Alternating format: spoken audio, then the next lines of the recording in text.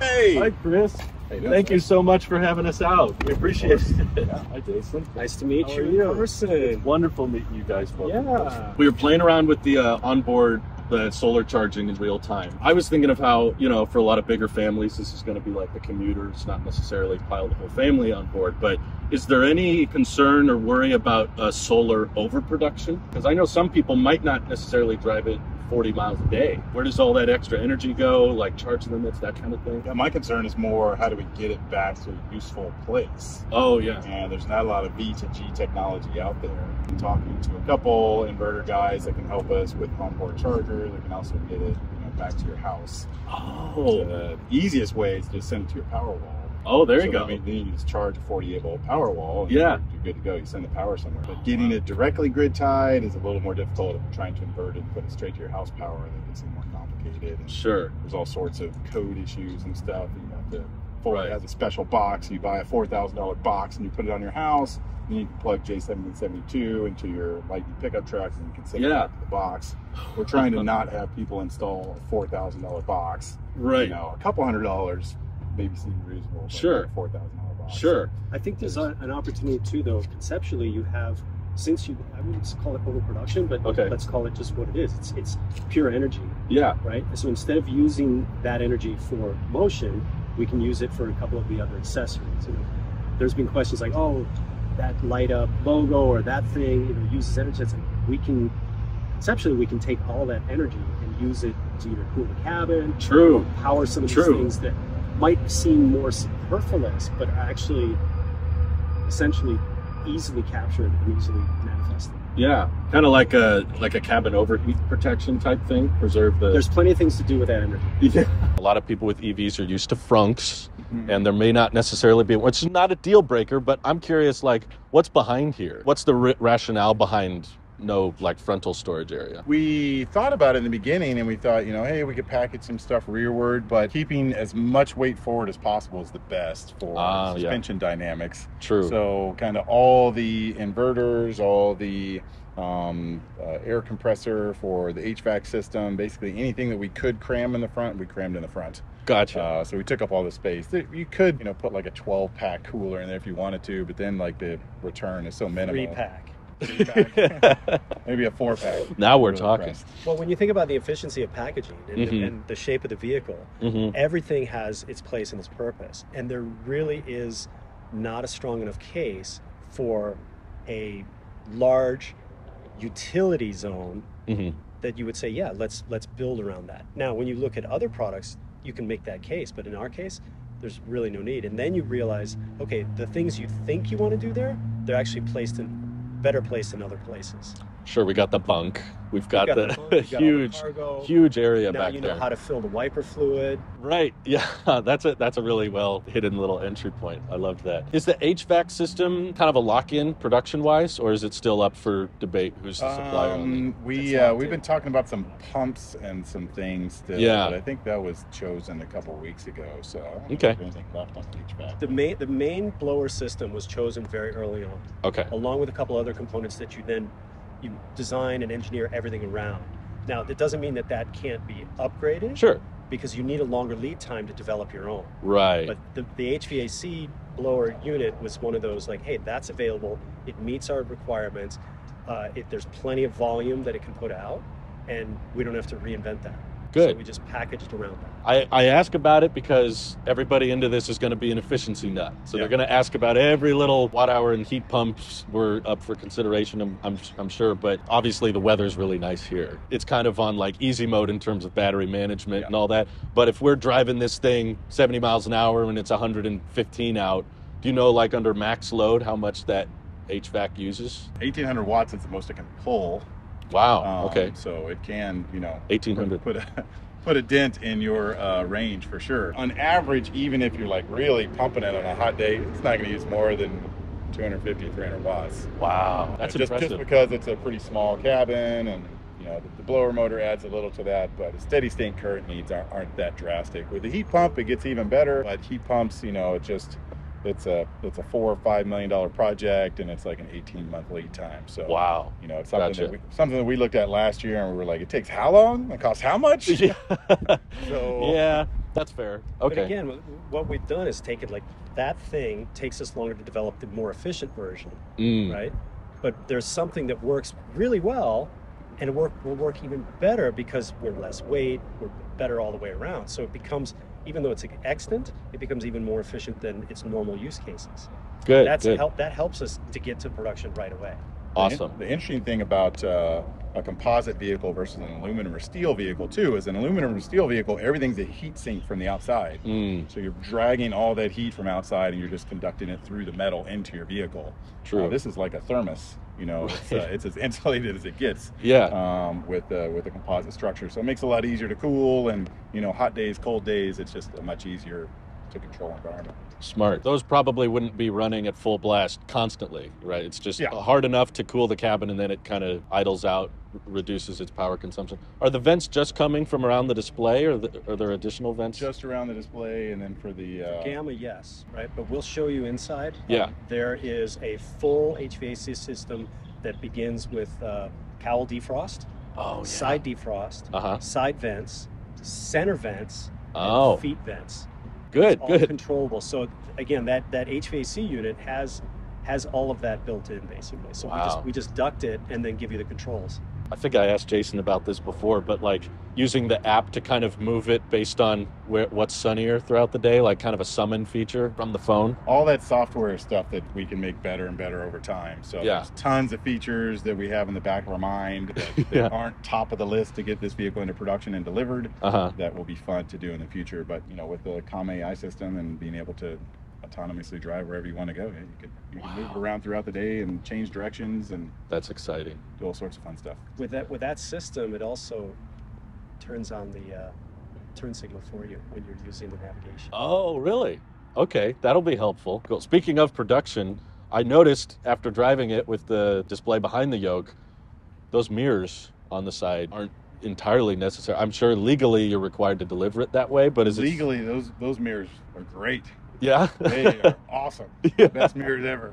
Right. Uh, functionally, uh, we think that our heads-up system is a much better safety feature Sure. for day and night driving. Yeah. And to have a full sight picture in front of you, Uh huh. we think that's the future, and that's what uh, you know the government should approve Yeah. in due time. Do you think it'll require special tools or something to if an individual was so bold as to Uh, remove them? three-inch grinding wheel and some. Uh, I think it's even safety less than that.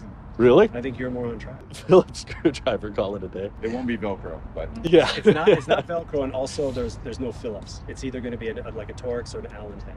That's Gotcha. One of the kind of the design. There's no flathead. There's no there's no Phillips. Well, I loved Aaron too, by the way. Oh, good. I don't know what you called it, but I called it a porthole. Felt like just a little circle on the back to access the. porthole. Now we have a name. There you go.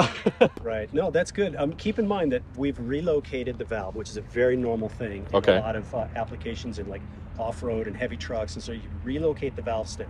So now that valve stem is centered, and so Oh, it's you don't have to clock it. Gotcha. right? And then the the second thing is the the size of the opening is based on a kind of standard how big a 95th percentile hand is with the glove. Right. That's why it's such a size. So Gotcha. You, would be able to you know remove that. It also has a retainer strap on a hinge. So you'd be able to locate and put on the air hose onto the Schrader valve. Smart. So okay. It's built around kind of that ergonomic. Do all the tires have that same valve stem location? No. Okay, because that's the rear Yeah, because of the pivot on the on the front wheel pants, we don't need to re- relocate them. But in the design and engineering process, we did look at that. Like, what would it take to put, uh, you know, the, the valve in the center and then Yeah. offer just a small thing Uh huh. uh, or a small porthole. Right. But it's really more elegant for the whole pant to rotate out of the way. It doesn't Right. fall on the ground. You're not removing it, Smart. and you can get the air. You can get a service on brakes. You can get a service on wheel and tire with Yeah. the front wheel pants. So is that going to be a little more complex on the back tire if you were doing a full wheel replacement? Or Yes. for that case, you do have to remove that side pin. gotcha. but it's designed the assembly sequence is designed so you can remove two parts and then get at the big panel then you have all the service you need and the vehicle has all the jacking points not on gamma but in the production vehicle Gotcha. there's jacking points for, for all of that service Are you going to reveal those later? Can you kind of pinpoint? jacking points Yeah. It's under Like- the lower A arm in the front and right in front of the tire in the rear. So Gotcha. there's, there's i think there's six different points that work in conjunction if you want to jack Okay. one side the whole front or the rear Interesting. You Interesting. can also basically jack it up at the corner of the battery pack. Oh, that's On the smart. corners of the battery pack, there's aluminum extrusion that you saw on the Mhm. side. That's the basically the frame rail. That makes sense. up by the frame rail on those four corners or the rear. in front of the tire, basically Uh-huh. where the swing arm is. Yeah, yeah. The front portion of the swing arm, and then uh, underneath it, the arms in the front. Right. And I know uh, Jason's working on a video and some illustrations on how the rear wheel pant comes off. Oh, good, So good. It is more complex, but the edict that we set long ago was you got to be able to get into the front under 30 seconds, and you got to be able to get in the rear in under two minutes. So, uh, Nice. so you do have to remove more Okay. fasteners in the rear, but Yeah, the, re- the rear's a little bit more complicated, but you know we don't anticipate you'll need as much service there. Gotcha. But when you need it, it, it you will be able to get access to it. Well, I'm glad you put a time on it. You're like, it's got to be accessible Yeah. and yeah, that quick. I think we beat both. The front are easy now. You just take the clip. Yeah. Yeah, there's a, there's just a Uh, release pin, and then you just rotate. I love over. that. With a detent, I mean they're not powered. We show in the video. Yeah, yeah. Videos. They're called aerial. They're not called how do you change the route. Right. But- no, the powered I think would just be too complicated anyway. No need for it at this Yeah. point because they're light enough weight. You're not that You will be able it. to detent it in place. It's not going to fall down. Yeah. And then there's a kind of safety pin on it, Mhm. so it's a really elegant solution. The doors. I love the way they just pop upwards. I can already picture like the car recognizing you're nearby and just popping it or whatever. Was there any rationale behind them going straight up? Does that help with efficiency or was it just like that's cool? Excellent question. You don't have a lot of areas to hinge the door. Either you put a massive hinge here and you have it open like a traditional door, then Yeah. you're under the wheel pan, Oh, or you got I to see. hinge it basically along this line. Yeah. So when you look at kind of this shape, and you're like, it's got to be this aerodynamic shape. Where the hell do you put the door? I mean, the Right. natural hinge points are top and bottom of the A pillar. Yeah. And that we went to Roush Engineering, and they they've engineered some of the highest volume production doors in the world. They helped us design the door, the hinge, and the seal strategy. Nice. Um, this is what they came up with. So there's a line between these two hinge points like that, yeah. and that's just about which the door naturally hinges. Do it like a DeLorean here. Yeah, yeah. That eats into your solar and does a whole bunch of other different things. It Uh-huh. actually makes the door open wider than it does now. So I was uh, impressed how little natural. it goes outward when you open. That it's was like that was the main driver too. Along Uh-huh. with that, you know, there's a natural access, and the, you know, we refer to them as like scarab style. oh And yeah. that's really the best way to, to get there. And then our, our our engineering partners in Italy, they kind of refined the process there, Yeah. and they've done several similar door systems. So we really got Oh, the best gotcha. of, of, of the engineering solution. For production, the door will not fly all the way open, Okay. but it'll present itself, so then you'll be able to easily assist it with the gas drive. I see. Which is probably smart because I've heard some people complain about Model X's opening too far or too quick, or you want a healthy middle we ground. need to find that balance. yeah, a lot absolutely. of software in that Model X door too. Like, Yeah. looks at the cameras and sees what's beside it. It's a whole. Right. We, we don't want to spend three million dollars developing the software to open our door. uh, from the wheel pan, I mean, you, you can park within basically a foot of a wall. It's like 11 inches, and you can still open the door. There's a ultrasonic there. Yes, in in the Gamma, we have the ultrasonics here, but we found it's much better uh, to move them for production to the nose cone. So Oh, in really? production, there'll be there'll be one here and one Okay. there, and it, it has to do with the, the kind of the cone of what what's read, in, in order to not get any false signals. We also went to the software guys, and they're like, "Great, you put them on the wheel pans. Now every time you turn the wheel, Bingo. we have to correct it in software." Oh, I didn't even Get think ready of to write a big software check to. Uh, Wow. Because it would detect the nose, or would detect yeah. It'd throw it off. Yep. Interesting. The production model, there's no ultrasonics on the wheel pan. No, no need. Just on the nose. Right. nose. But it can detect even if you're in a tight spot. It's close enough. Wow. Yes, it's technically not, let's say, aimed or oriented forward. Mhm. It's aimed outward, but it has a it has a cone of a cone of vision essentially, or of Gotcha. detection. Okay. So it, it's kind of optimized for like where's that that that spread in order to perform its function and give you that warning, like, hey, you're too close to this. Okay, is the gamma display gamma display is that a little bigger than the production model? It is. This was the 15 because that's what we could we could source at the time. Yeah. Um, but through our development and, and you know design and engineering process, we realized that uh, it's it's it's oversized for the cabin. I agree. So That's the first thing. yeah. to to and you'll see that in the in the interior uh, module. Okay. You'll see that 12.8 is really much more. Uh, This is also a 15.6 with a larger bezel on the bottom and side. Yeah. So Oh, it's a bit gotcha. deceptive. Like, yeah, it's a 15.6, but it's a 15.6 with a big bezel around it too. Right. Because that was the first thing when I put my hands on the yoke. I was like, I'm already kind of eating into that screen. Yeah. Plus, I'm, I'm guessing the smaller screen uses less power. No. It's really how the screen's made that it uses less power. So there's Oh, interesting. there's new LED technology, Uh-huh, but it uh-huh. uses like you know 20% of the power of like the screens 10 years ago. I had a Model S from 2015, Uh huh. but you know on any given day, put your hand on the screen, like, holy.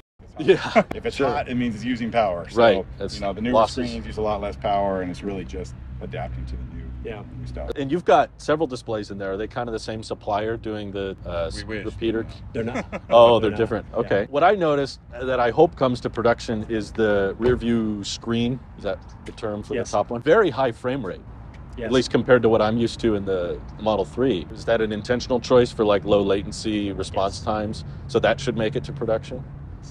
What, do you know if it's like 60 frames a second? I don't. We can ask. Okay, it's buttery. I was like It's, used to it's the the same camera for that as the side view. So Oh, okay. Yeah, all the cameras camera, extra signal smooth. processing. Wow. And it, it's been calibrated as, as a system. Like I know, I know that. I, I want you to think of it in what you've experienced until now, yeah. and then how much things are improving.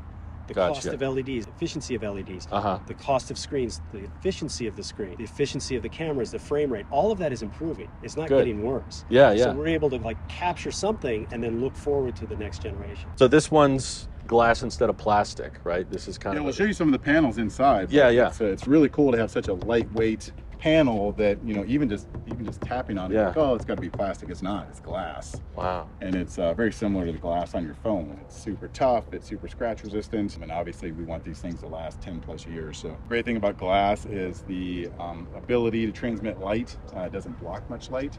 So the Good. problem with all the polymers was it blocked more light, so we're taking like an extra five percent efficiency hit just by putting a polymer on top. Wow. So this is an efficiency gain Yeah. and a durability gain. Yep. The main restrictor in the beginning when we first started looking at it was people didn't make glass big enough. Lightweight I see. glass that's big enough just didn't really exist. People made like windshield glass and large panes of glass, but this kind of lightweight, super strong, super tough glass, it just didn't exist. This wasn't so hard.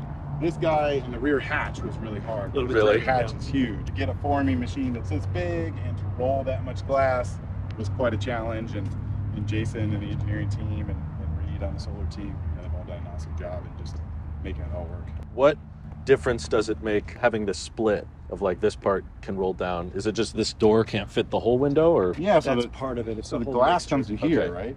Mm-hmm. So you can have this lip catch air here, or you can have it catch air here. Oh, it's got to catch.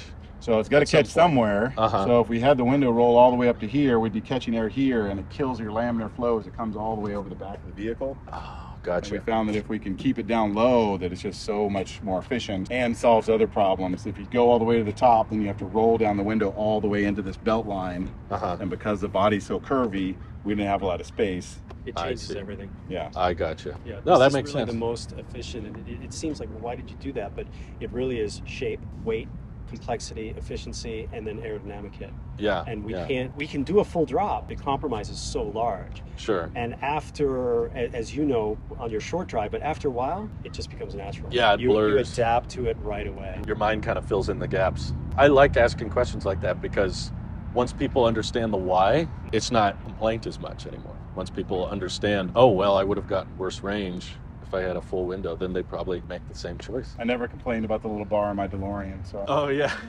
Did you own one? yeah, I built the first electric DeLorean. Oh, that's cool too. Uh, sold it to Google, and now they do they sell like HTC phones and stuff with it. They made a Oh, DeLorean fun.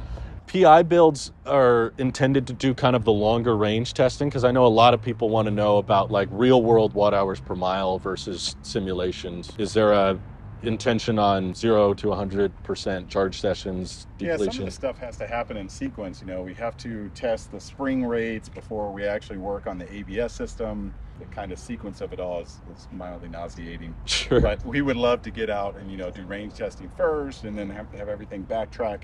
But really, you know, the simulations are so good now, and they've matched everything else we've done so well. Good, You know, good. we have super high confidence that hey, this this vehicle's going to do X.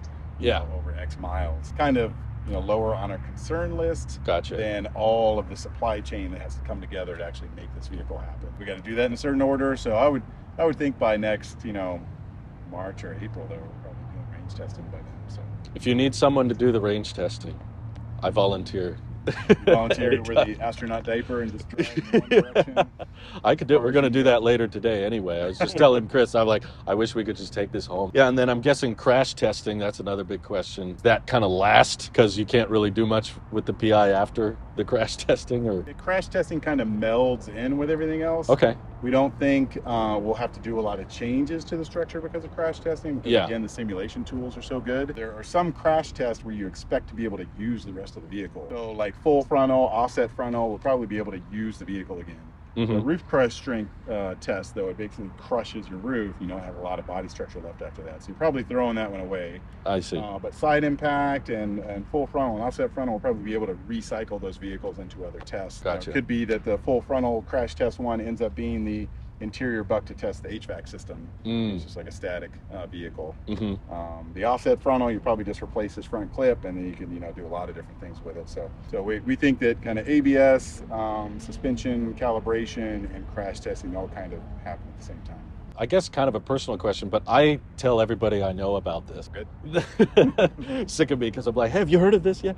And a lot of the first reaction usually comes up with safety. And I think it's purely just from people haven't seen anything like it. So that's their first, oh, it must be dangerous if it looks weird. I'm still working on kind of the best way to articulate the safety argument because I think it's safer than most would think with the crumple zone. And I don't know if there's much advantage to it. Maybe I shouldn't be saying this, but like having the wheels and not having an axle Yeah. attached between them, that leaves less to be pushed into the cab, right? Mhm. Is that is that accurate or I mean, you probably address safety in a different way than I do. But No, but Andrew, your your point of view is is correct. And then remember, we're building on with our partnership. We're building on a lot of great experience for structures, dynamic impacts. So Mm. the whole testing regimen, the whole the whole uh, simulation, it's all been calibrated to a certain level, and then we'll do the, the actual physical yeah? uh, tests of that. hmm Then you take then you get the whole story. Right. Here's all of your strengths. Here's here's all how it performs. But you are right in just its general,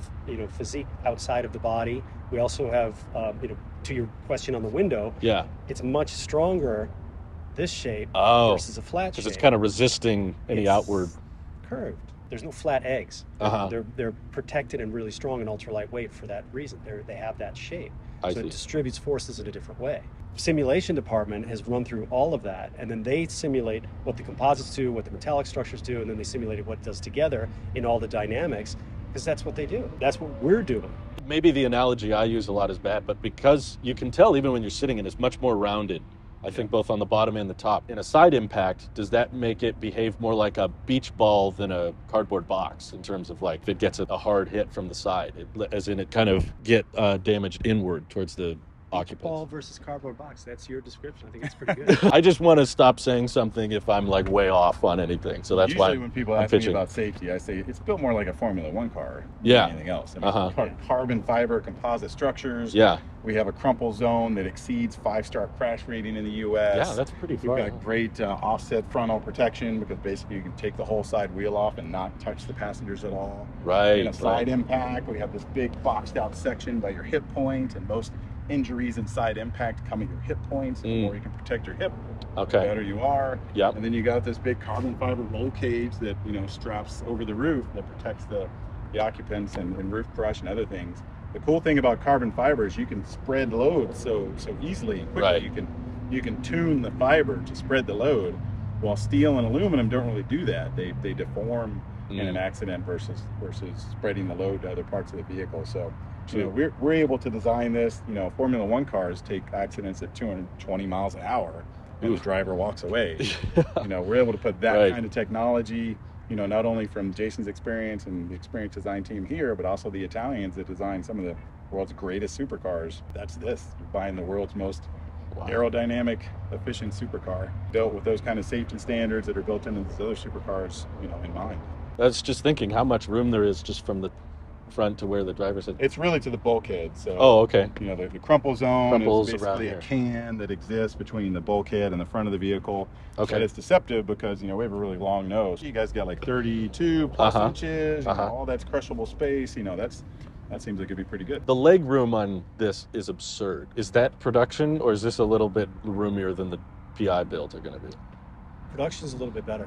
What? Yes. So this is like meant for six foot ten, seven Not foot. foot 10. my uncle was sitting in it just fine, Yeah. and I feel like there's better leg room in this than in my Model Three. There is from from one point of view. Your seating position is optimized for this shape.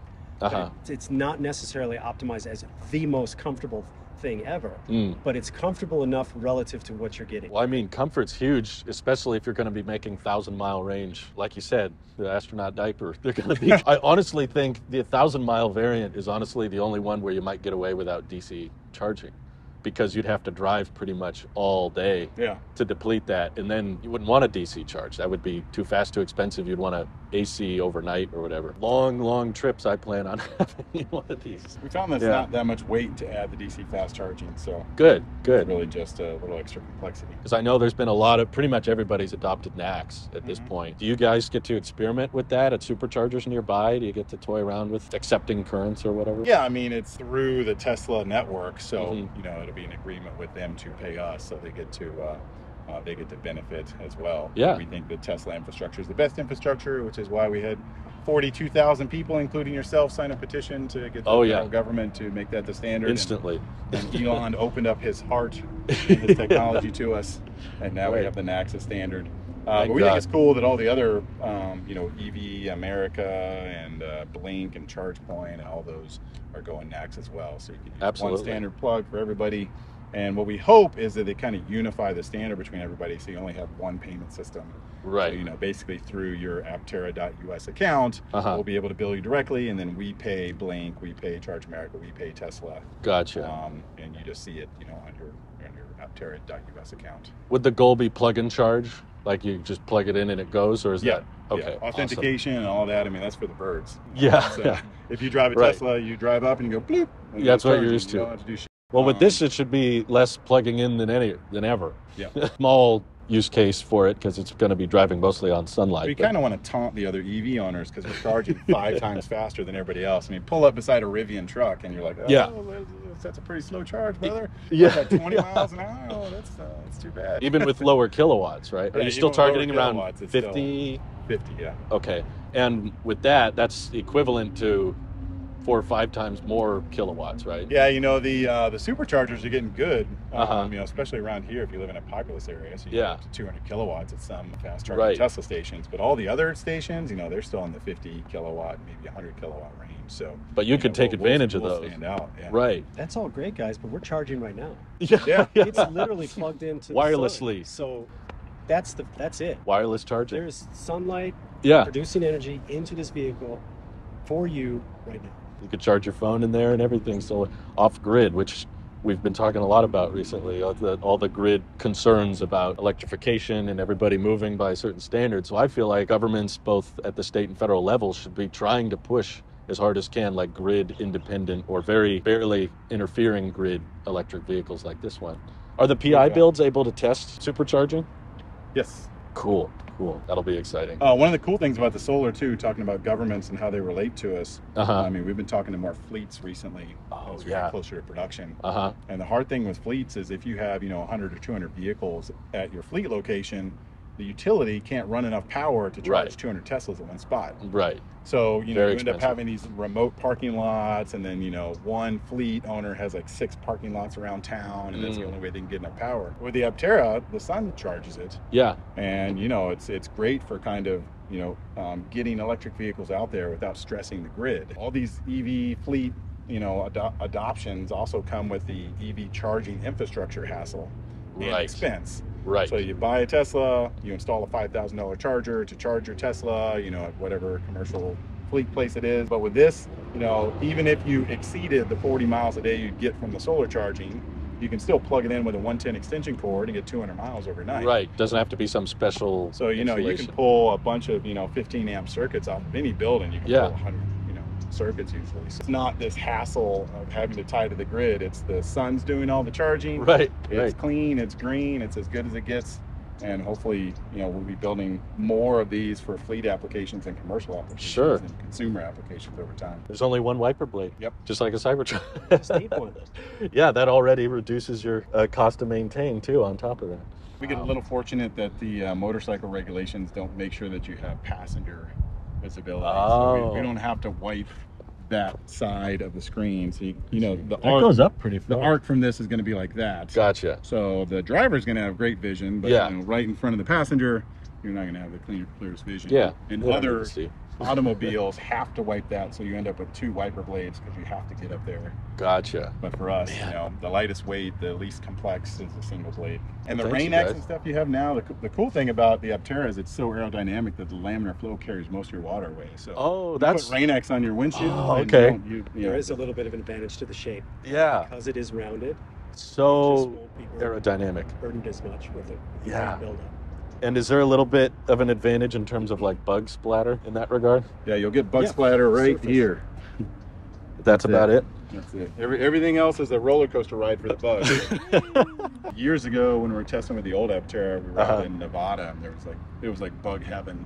So we Yeah. had like the chase car, it was like you know a truck, and it was what we pulled the trailer out there with, and the truck is just covered with bugs. Yeah. And the Aptera like had no bug. Like what the hell? Nice. Keeps it easier to single- clean. Not a single windshield bug splatter.